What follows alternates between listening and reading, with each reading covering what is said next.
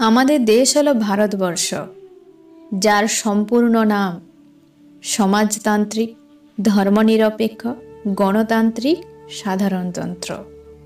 ভারতে তিনটি জাতীয় দিবস পালন করা হয়। স্বাধীনতা দিবস, গান্ধী জয়ন্তী, অপরটি প্রজাতন্ত্র দিবস।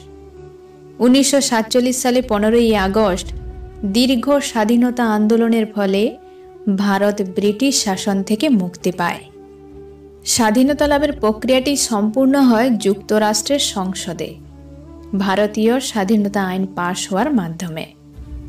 এর ফলে ব্রিটিশ ভারত ভেঙে গিয়ে কমনওয়েলথ অব নেশনসের অন্তর্গত অধিরাজ্য হিসেবে দুটি স্বাধীন রাষ্ট্র, ভারত ও পাকিস্তানের জন্ম হয়। তখনও দেশে কোনো স্থায়ী সংবিধান ছিল না। উনিশশো সাতচল্লিশ সালে আঠাশে আগস্ট একটি স্থায়ী সংবিধান গঠনের জন্য ড্রাফটিং কমিটি গঠন করা হয়। এই কমিটির চেয়ারম্যান ছিলেন বি আর আম্বেদকর।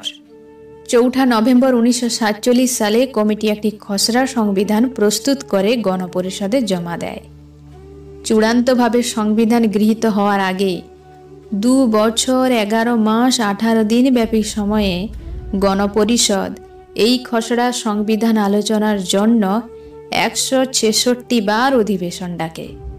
এই সমস্ত অধিবেশনে জনসাধারণের প্রবেশের অধিকারও ছিল। উনিশশো ঊনপঞ্চাশ সালে ছাব্বিশে নভেম্বর স্বাধীন ভারতের সংবিধান গৃহীত হওয়ার পর ঠিক করা হয়, উনিশশো সালে ছাব্বিশে জানুয়ারি প্রথম স্বাধীনতা দিবস পালনের এই দিনটিকে শ্রদ্ধা জানিয়ে উনিশশো পঞ্চাশ সালে ছাব্বিশে জানুয়ারি থেকে ভারতের সংবিধান কার্যকর হবে। এবং ওই দিন থেকে প্রজাতান্ত্রিক ভারতবর্ষ বা রিপাবলিক অব ইন্ডিয়া হিসেবে পরিচিত হবে। বহু তর্ক, বিতর্ক ও কিছু সংশোধনের পর চব্বিশে জানুয়ারি উনিশশো পঞ্চাশে গণপরিষদে তিনশো জন সদস্য চূড়ান্ত সংবিধানের হাতে লেখা দুটি নথিতে একটি ইংরেজি ও অপরটি হিন্দি স্বাক্ষর করেন।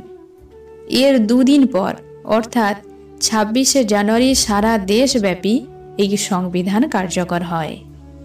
সাধারণতন্ত্র দিবস উদযাপনের প্রধান কর্মসূচি পালিত হয় ভারতের রাষ্ট্রপতির সামনে, জাতীয় রাজধানী নয়াদিল্লিতে। এই দিন রাজপথে আড়ম্বরপূর্ণ কুচকাওয়াজ অনুষ্ঠিত হয়, যা ভারত রাষ্ট্রের উদ্দেশ্যে উৎসর্গ করা হয়।